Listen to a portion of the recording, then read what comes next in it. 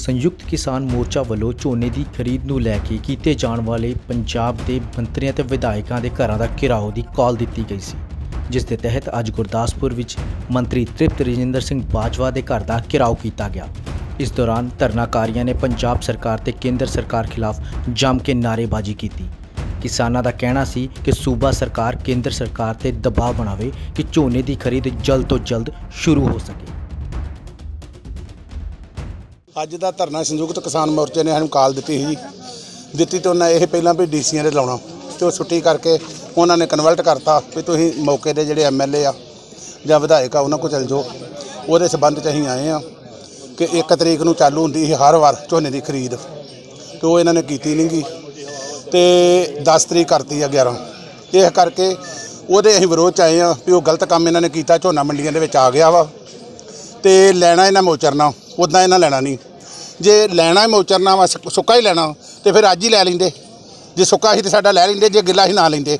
ਪਰ ਇਹਨਾਂ ਜਿਹੜਾ ਗਾਂ ਕੀਤਾ ਵਾ ਬਹੁਤ ਮਾੜੀ ਮਾੜਾ ਕੰਮ ਕੀਤਾ। ਸੈਂਟਰ ਸਰਕਾਰ ਦੀ ਨੀਤੀ ਤੇ ਨੀਅਤ ਬਹੁਤ ਮਾੜੀ ਆ। ਸਾਨੂੰ ਪੰਜਾਬ ਨੂੰ ਜਾੜੂ ਆ। ਜਿਸ ਤਰੀਕੇ ਦੇ ਨਾਲ ਤੁਸੀਂ ਧਰਨਾ ਦੇਣਾ ਹੈ। ਇਹ ਕਰਕੇ ਤੁਹਾਡੇ ਕੋਲ ਪੰਜਾਬ ਸਰਕਾਰ ਖੁਦ ਚੱਲ ਕੇ ਆਈ। ਹਾਂਜੀ। ਉਹਨਾਂ ਨੇ ਆ ਕੇ ਤੁਹਾਡੇ ਨਾਲ ਵਿਚਾਰ ਵਿਮਰਸ਼ ਕੀਤੇ। ਕੀ। ਵਿਚਾਰ ਵਿਮਰਸ਼ ਹੋਇਆ? ਉਹਨਾਂ ਨੇ ਸਾਨੂੰ ਵਿਸ਼ਵਾਸ ਦਿਵਾਇਆ ਕਿ ਸਾਡੇ ਜਿਹੜਾ ਚੀਫ ਮਿਨਿਸਟਰ ਵਾ ਚੰਨੀ ਸਾਹਿਬ ਉਹ ਗਏ ਸੀ। ਉਹਨਾਂ ਨੇ ਵੀ ਕਿਹਾ ਵੀ ਇੱਕ ਤਰੀਕ ਨੂੰ ਚਾਲੂ ਕਰੋ। ਤੇ ਪਰ ਮੋਦੀ ਨਹੀਂ ਮੰਨਿਆ। ਹੁਣ ਵੀ ਅਸੀਂ ਕੱਲ ਤੋਂ ਜਾ ਕੇ ਤੇ ਜ਼ੋਰ ਲਾਵਾਂਗੇ, ਕੋਈ ਨਾ ਕੋਈ ਤੁਹਾਡਾ ਸੋਲੂਸ਼ਨ ਕੱਢਾਂਗੇ। ਇਹ ਸਾਨੂੰ ਵਿਸ਼ਵਾਸ ਦਿਵਾਇਆ। ਇਹਨਾਂ ਨੇ ਤ੍ਰਿਪਤ ਰਜਿੰਦਰ ਬਾਜਵਾ ਸਾਹਿਬ ਨੇ। ਮੰਤਰੀ ਜੀ ਦੀ ਕੋਠੀ ਦੇ ਬਾਹਰ ਬੇਸ਼ੱਕ ਪੁਲਿਸ ਬਲ ਤਾਇਨਾਤ ਕੀਤਾ ਗਿਆ ਸੀ, ਪਰ ਮੰਤਰੀ ਜੀ ਨੇ ਆਪ ਬਾਹਰ ਆ ਕੇ ਕਿਸਾਨਾਂ ਦੀਆਂ ਮੁਸ਼ਕਲਾਂ ਸੁਣੀਆਂ ਤੇ ਭਰੋਸਾ ਦਿਵਾਇਆ ਕਿ ਜਲਦ ਹੀ ਝੋਨੇ ਦੀ ਖਰੀਦ ਸ਼ੁਰੂ ਕੀਤੀ ਜਾਵੇਗੀ। ਉਹਨਾਂ ਕੇਂਦਰ ਸਰਕਾਰ ਤੇ ਵਰਦਿਆਂ ਕਿਹਾ ਕਿ ਸਰਕਾਰ ਜਾਣਬੁੱਝ ਕੇ ਕਿਸਾਨਾਂ ਨੂੰ ਪਰੇਸ਼ਾਨ ਕਰ ਰਹੀ ਹੈ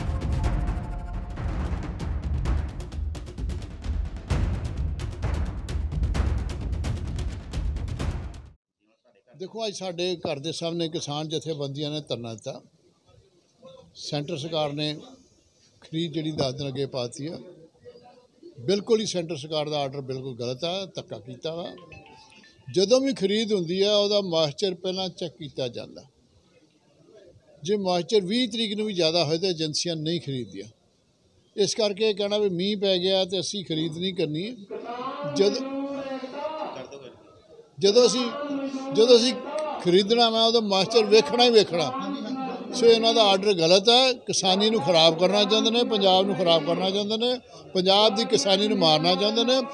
ਉਹਨਾਂ ਨੂੰ ਆਪਣਾ ਆਰਡਰ ਰਿਵਿਊ ਕਰਨਾ ਚਾਹੀਦਾ ਕਿਉਂਕਿ ਅਸੀਂ ਜਦੋਂ ਵੀ ਖਰੀਦ ਕਰਨੀ ਹੈ ਜਿਸ ਏਜੰਸੀ ਖਰੀਦ ਕਰਨੀ ਹੈ ਉਦੋਂ ਮਾਸਟਰ ਦੇਖਣਾ ਜਿਹਦਾ ਮਾਸਟਰ ਵਿਦਨ ਲਿਮਿਟਾਂ ਨੂੰ ਖਰੀਦਣੇ ਆ। ਤੁਸੀਂ ਵੀ ਬਾਹਰ ਜਾ ਕੇ ਗੱਲਬਾਤ ਕੀਤੀ ਹੈ ਕੀ ਤੁਸੀਂ ਉਹਨਾਂ ਨੂੰ ਕਿਹਾ ਤੇ ਉਹਨਾਂ ਵੱਲੋਂ ਕੀ ਮੈਂ ਤਾਂ ਉਹਨਾਂ ਨੇ ਆਖਿਆ ਵੀ ਪੰਜਾਬ ਸਰਕਾਰ ਦਾ ਕੋਈ ਕਸੂਰ ਨਹੀਂ ਅਸੀਂ ਤੁਹਾਡੇ ਨਾਲ ਆ ਤੱਕਾ ਸੈਂਟਰ ਸਰਕਾਰ ਕਰ ਰਹੀ ਹੈ। ਸਾਡੇ ਸੀਐਮ ਸਾਹਿਬ ਕੱਲ ਗਏ ਸੀ, ਮੋਦੀ ਸਾਹਿਬ ਨੂੰ ਕਹਿ ਕੇ ਆਏ ਨੇ, ਦੇਖੋ ਸ਼ਾਇਦ ਦਿਹਾੜੀ ਦੇ ਵਿੱਚ ਉਹਨਾਂ ਨੂੰ ਸਮਝ ਆ ਜਾਵੇ।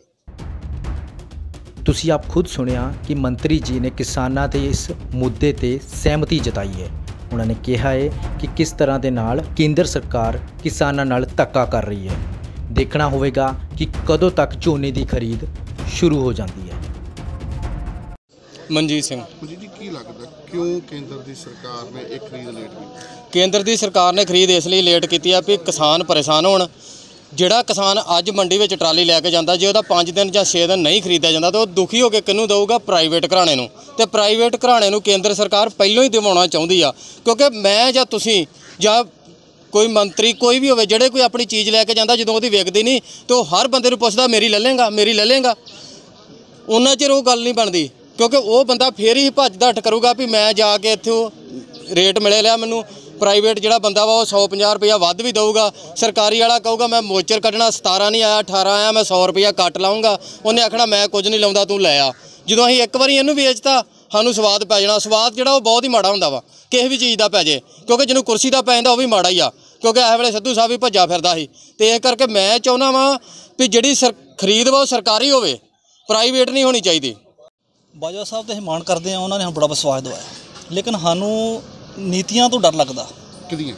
ਕੈਪਟਨ ਸਾਹਿਬ ਵੀ ਇਸੇ ਕਾਂਗਰਸ ਦੇ ਵਿੱਚ ਸੀ ਜਿਹੜੇ ਹੁਣ ਯੂ ਟਰਨ ਲੈ ਕੇ ਇਸ ਟਾਈਮ ਨੂੰ ਬੀਜੇਪੀ ਚਲੇ ਗਏ। ਹਾਂਜੀ ਬੀਜੇਪੀ ਗਏ ਨਹੀਂ ਗਏ ਮਿਲੇ ਆ ਵਿਧਾਇਕਾਂ ਨੂੰ ਉਹਨਾਂ ਨੂੰ ਮਿਲੇ ਆ। ਲੇਕਿਨ ਸਾਨੂੰ ਡਰ ਲੱਗਦਾ ਪਿਆ ਵੀ ਉਹ ਜੋ ਰਲੀ ਭੁਗਤ ਚੱਲ ਰਹੀ ਆ ਸਾਨੂੰ ਡਰ ਲੱਗਦਾ ਕਿਸੇ ਤੇ ਵਿਸ਼ਵਾਸ ਨਹੀਂ ਰਹਿ ਚੁੱਕਾ ਕਿਸਾਨ ਨੂੰ। ਕਿਉਂਕਿ 9 ਮਹੀਨੇ ਹੋ ਗਏ ਸਾਨੂੰ ਆਪਣੇ ਦਿੱਲੀ ਮੋਰਚੇ ਤੇ ਬੈਠਿਆਂ ਨੂੰ। 700 ਤੋਂ ਵੱਧ ਸਾਡੇ ਸ਼ਹੀਦ ਹੋ ਗਏ ਸਿੰਘ। ਸਾਨੂੰ ਇਸ ਚੀਜ਼ ਦਾ ਡਰ ਲੱਗਦਾ ਵੀ ਆਪਸ ਵਿੱਚ ਰਲੇ ਭੁਗਤਵਾ ਸਾਡੀ ਕੋਈ ਸੁਣਵਾਈ ਕਿਸ ਬਨੇ ਨਹੀਂ ਹੋ ਰਹੀ। ਅਸੀਂ ਇਹਨਾਂ ਕੋ ਤਾਂ ਆਏ ਆ ਅਸੀਂ ਇਹਨਾਂ ਨੂੰ ਵੋਟਾਂ ਦਿੱਤੀਆਂ। ਅਸੀਂ ਮਾਣ ਕਰਦੇ ਹਾਂ ਇਹਨਾਂ ਤੇ। ਵਿਸ਼ਵਾਸ ਸਾਨੂੰ ਦਵਾਇਆ ਲੇਕਿਨ ਜਿੰਨਾ ਚਿਰ ਤੱਕ ਸਾਡਾ ਕੁਝ ਹੱਲ ਨਹੀਂ ਹੁੰਦਾ ਅਸੀਂ ਉਹਨਾਂ ਚਿਰ ਕਿੱਥੇ ਜਾਈਏ? ਕੀ ਸਮਝਦੇ ਹੋ? ਕਿਉਂਕਿ ਉਹਨਾਂ ਨੇ ਕਿਹਾ ਕਿ ਮੈਂ ਖੁਦ ਕਿਸਾਨ ਹਾਂ? ਹਾਂਜੀ। ਮੇਰੀ ਵੀ ਫਸਲ ਮੰਡੀਆਂ 'ਚ ਜਾਣ। ਹਾਂਜੀ। ਇਸ ਬਾਰੇ ਕੀ ਡਿਸਕਸ ਹੋਈ ਹਾਂਜੀ ਉਹਨਾਂ ਅਸਲ ਵਿੱਚ ਮੁੱਦਾ ਤੇ ਇਹੋ ਹੀ ਆ ਵੀ ਵਿਸ਼ਵਾਸ ਹਰ ਇੱਕ ਬੰਦਾ ਵਿਸ਼ਵਾਸ ਦਿੰਦਾ ਜਿੱਥੇ ਜਾਂਦੇ ਆ। ਲੇਕਿਨ ਸਾਨੂੰ ਵੀ ਸੰਯੁਕਤ ਮੋਰਚੇ ਨੇ ਜੋ ਆਰਡਰ ਦਿੱਤੇ ਆ ਵੀ ਤੁਸੀਂ ਉਹ ਵੀ ਬਹੁਤ ਸਮਝਦਾਰ ਆ ਜਿਹੜੇ ਸਾਡੇ ਆਗੂ ਆ ਉਹ ਵੀ ਬਹੁਤ ਸਮਝਦਾਰ ਆਗੂ ਆ। ਉਹਨਾਂ ਨੂੰ ਵੀ ਇਸ ਚੀਜ਼ ਰਾਜਨੀਤੀ ਬਾਰੇ ਪਤਾ ਆ ਵੀ ਰਾਜਨੀਤੀ ਕੀ ਚੱਲ ਰਹੀ ਆ ਲੇਕਿਨ ਕਿਉਂ ਲੱਗਦਾ ਕਿ ਕੇਂਦਰ ਦੀ ਸਰਕਾਰ ਨੇ 10 ਦਿਨ ਖਰੀਦ ਲੇਟ ਕਰਤੀ? ਇਹ ਤੇ ਇੱਕ ਕੇਂਦਰ ਦੀ ਸਰਕਾਰ ਇਹ ਤੇ ਇਹੋ ਹੀ ਅਸੀਂ ਸੋਚ ਸਕਦੇ ਆ ਵੀ ਇੱਕ ਸੈਂਟਰ ਸਰਕਾਰ ਦੀ ਜਿਹੜੀ ਨੀਤੀ ਆ ਕਿਸਾਨਾਂ ਤਿੰਨ ਕਾਨੂੰਨ ਜਿਹੜੇ ਉਹਨਾਂ ਲਾਗੂ ਕੀਤੇ ਆ ਉਹਦੇ ਵੱਲ ਨੂੰ ਉਹ ਖਾਣ ਨੂੰ ਧੱਕ ਰਹੇ ਆ। ਉਧਰ ਜਾਣ ਦਾ ਸਾਨੂੰ ਇਸ਼ਾਰਾ ਦੇ ਰਹੇ ਵੀ ਅਸੀਂ ਉਧਰ ਨੂੰ ਜਾ ਰਹੇ ਆ। ਲੇਕਿਨ ਸਾਨੂੰ ਪਤਾ ਆ ਵੀ ਨਹੀਂ ਇਹ ਸਾਡੀ ਜਿੱਤ ਆ। ਕਿਸਾਨਾਂ ਦੀ ਜਿੱਤ ਆ। ਜਿੰਨੇ ਵੀ ਇਹ ਧਰਨੇ ਹੋ ਚੁੱਕੇ ਆ ਮੰਨ ਲਓ ਵੀ ਸਭ ਤੋਂ ਵੱਡਾ ਧਰਨਾ ਜਿਹੜਾ ਹੋਇਆ ਉਹ ਆਪਣਾ ਯੂਪੀ ਦੇ ਵਿੱਚ ਹੋਇਆ ਮੁਜ਼ੱਫਰਨਗਰ। ਉੱਥੋਂ ਹੀ ਕਿਸਾਨ ਇਹ ਕੇਂਦਰ ਸਰਕਾਰ ਨੂੰ ਸੋਚ ਲੈਣਾ ਚਾਹੀਦਾ ਵੀ ਕਿਸਾਨ ਇੱਕ ਹੋ ਚੁੱਕਾ। Bureau report Fact News. ਹੱਕ ਤੇ ਸੱਚ ਦੀ ਖਬਰ ਲਈ ਲਾਈਕ ਤੇ ਸਬਸਕ੍ਰਾਈਬ ਕਰੋ। ਪੰਜਾਬ ਦਾ number 1 digital news channel the Fact News